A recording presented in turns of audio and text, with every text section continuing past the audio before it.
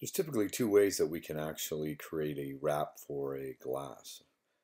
The first is to create the page size in CorelDRAW so it it basically is the size of the wrap. So for example, if my circumference of my glass was 10 inches, I can make my page height 10 inches and I can place my images on the page that way.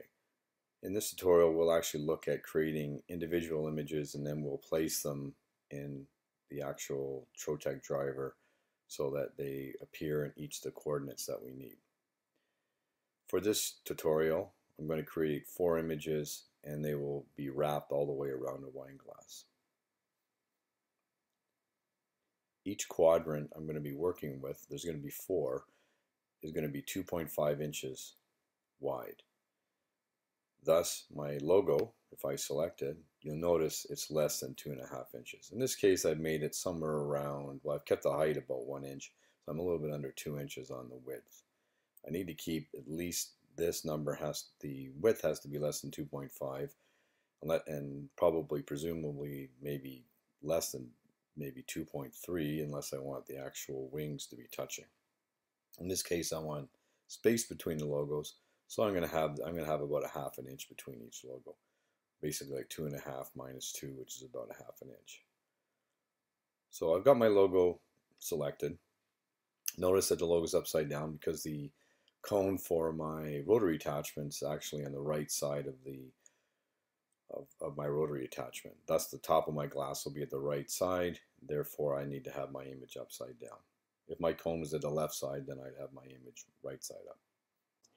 Now that I've created my logo and I've resized it and rotated 180 degrees, next thing I need to do now is print the actual image over to job control.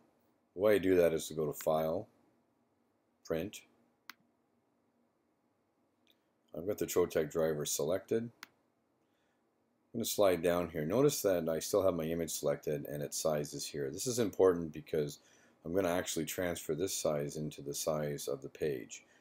However, I'm going to increase the page size by 10 thou because we can't go right to the edge of the page in Corel. We've got to give 5 thou border all the way around or Corel won't print whatever falls within that 5 thou edge of the page. So I'm going to have to increase this size. So it's important for me to see this when I type in the page size so I don't forget it. So I'm going to go to Preferences. So I'm going to type in, I'm going to drop this down. Let's move this over a little bit so we can see it. Bring this up. So I'm going to go 1, 0.962, that's 10 thou there, and then this is going to be 1.01. These are 10 thou bigger than here. I'm going to go to my power and speed settings. I'm going to set, I'm going to select my database if I want, or again, I can just plug in my power and speeds, say OK. I set my DPI, and I'm going to say OK. Now notice that I actually don't get a print preview here. That basically means that if I send this job over to the printer driver, I'm actually not going to see anything. So I've got one more step to do. I'm going to go to Layout. I'm going to say Reposition to the center of the page. And there's my image that shows up on the page. Back to General. Notice I've got a bit of a border around the outside of the page, which I've done because we need to be we need that, that 5 thou distance all the way around. And I'm going to say Print. Now the job's gone over to job control. As you can see, I'm in job control. First thing I need to do is set up my rotary attachment. I'm going to go to settings, options. I'm going to expand my tree here under hardware, select accessories, and I'm going to select the rotary attachment. My glass is 10 inches in circumference, which divided by pi is 3.2 inches for the diameter. Say OK. And notice here you can actually see my rotary attachment on the table. Now remember, this has nothing to do with how your rotary attachment is set up inside the table, but it's basically just there for visual reference. Here's my job over here that's been sent over. I'm going to select the job. I'm going to hold the left mouse button. I'm going to drag out the job and I'm going to let go. And notice how the image rotates so that it actually is orientated properly. Remember the top of my glass is at the right side of the page so this is the way I want it to be orientated. Now that the image is on the desktop in my workspace, all I need to do now is select it. And I can, as I can move, as I left hold the left mouse button, I can drag the image around. Now notice over here on the left is actually my XY position from my logo. I'm going to measure this from the top left hand corner. And we know my position needs to be 21.56 on the X. So if we move over, you can see there's my image. I'm just going to zoom in a little bit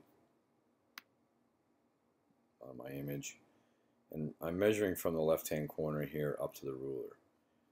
My Y has to be 0. So what's going to happen here is there actually, when I send the job over to the rotary attachment, when it starts to laser, it won't actually turn the glass because the image is right at the top of the page. If my image had been down, say around the middle, then I would say it was down here, then I would actually get this movement here of the glass before it actually got to the logo. So let's put that back where we want it, 21.56 0. Now I need to duplicate my image. So the easiest way to do that is just to go Control D or I can select my image, plate, duplicate job. Now my image will actually, for duplicate, will go back to the 0, 0 position, which is right here. Okay, so again, if I zoom back out again, notice I'm at the top left-hand corner. Now I can easily put this over at 21.56. However, if I do that, it's going to give me an error because I've actually got a I already have an image at, at the 0 and the 21.56. So the best thing here to do is to put is to do our y first, which in this case is going to be 2.5. I know that because 10 divided by 4 is 2.5. So I want this image starting at the 2.5 position. If I press enter, the image drops down to 2.5 and then I can enter into 21.56. And notice how my image now is right here. So then easiest thing to do then is just to go back to plate, duplicate the job twice, because I need to do four images. And I've got two images here. Doesn't really matter where they are because I need to select this. The next one's going to be at 5 inches and 21.56 and this one is going to be at 7.5 and this is going to be 21.56. So if I come over to my glass, you notice here that I've actually got my four images that are wrapping and the spacing is actually even. So the space that's here, space that's here, here, and here is all the same. So when I rotate my glass, I should theoretically have all my images spaced out evenly all the way around the glass. The trick to this is to make sure that you get the circumference proper If you don't measure your glass properly in the right location, then when you go to do your, your images, your first and your last one, the spacing will be off compared to the other ones. So it's very important to make sure that you measure the right part of the glass that you want to actually put the images on. Once I'm done, just go file engrave and off we go.